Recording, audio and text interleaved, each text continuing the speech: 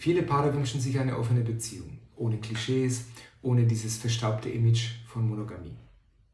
Doch was erleben Paare, die eine offene Beziehung tatsächlich führen? Darüber reden wir in diesem Video.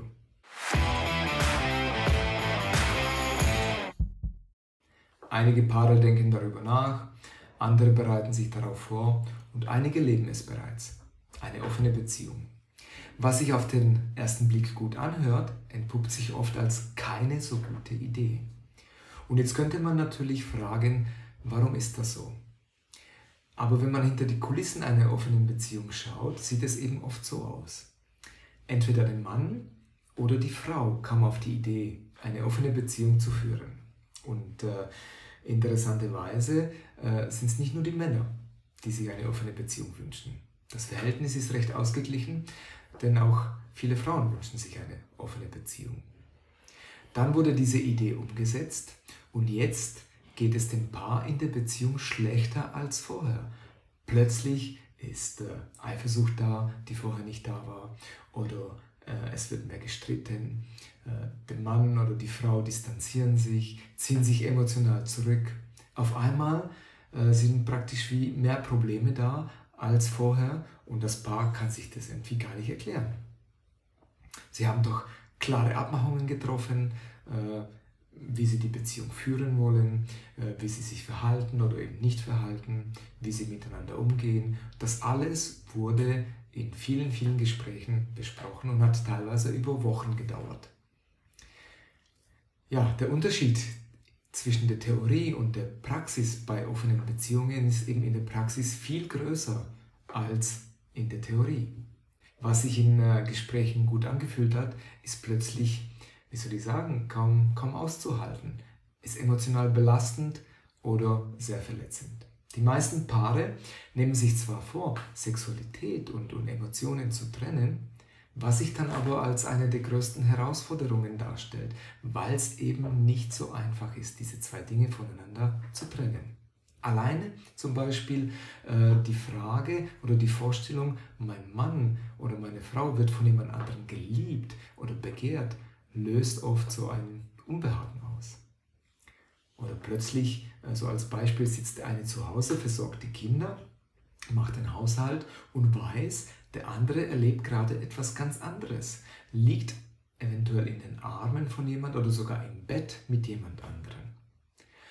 Und das kann schon ein Gedankenkarussell äh, in Gang bringen, der nicht so einfach anzuhalten ist. Und das sind nur zwei Beispiele, was alles eine offene Beziehung auslösen kann.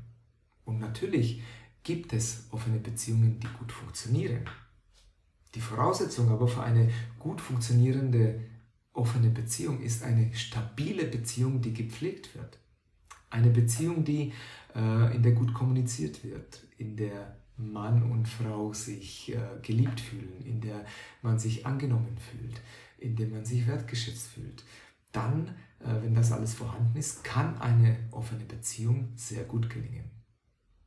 Doch leider äh, erlebe ich zu oft, dass die Idee, eine offene Beziehung aus einem Mangel heraus äh, beschlossen wird. Das heißt, die Beziehung fühlt sich nicht gut an, die Verbindung zwischen Mann und Frau ist nicht mehr so spürbar wie am Anfang, äh, die Gespräche sind nicht mehr so tief, äh, der Sex ist vielleicht ein wenig eingeschlafen oder kaum vorhanden, es gibt zu wenig Zuwendung, zu wenig Zuneigung, zu wenig Wertschätzung.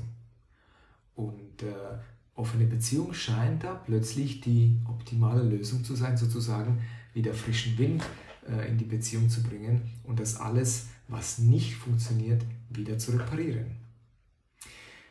Ja, und oft passiert eben genau das Gegenteil.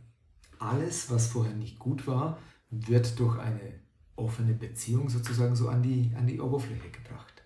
Man, äh, man könnte sogar sagen, äh, intuitiv hat das Paar oder der Mann oder die Frau, die auf die Idee kam, gespürt, äh, etwas ist nicht okay in unserer Beziehung. Es aber dann durch eine offene Beziehung lösen zu wollen, ist äh, aus meiner Erfahrung eben nicht der richtige Weg. Wenn Sie mit dem Gedanken spielen, eine offene Beziehung zu führen, dann sollten Sie sich unbedingt zwei Fragen stellen oder sich auf jeden Fall mit diesen zwei Fragen beschäftigen. Und zwar die erste Frage ist, wofür brauchen wir eine offene Beziehung? Was ist die Hoffnung oder was ist die Sehnsucht dahinter? Ist es mehr oder besserer Sex? Ist es äh, sich wieder mehr spüren wollen? Äh, ist es mehr Wertschätzung zu bekommen, mehr Zuneigung? Was ist es genau? Und die zweite Frage ist, welche Auswirkung soll die offene Beziehung haben? Das heißt, was genau soll dadurch besser oder anders werden, als es im Moment ist? Wenn Sie diese zwei Fragen ehrlich beantworten und die offene Beziehung immer noch die richtige Lösung ist, dann hat sie auch gute Chancen, eine gute Beziehung zu werden. Denn glückliche Beziehungen sind eben keine Glückssache. Glückliche Beziehungen werden gemacht von Ihnen.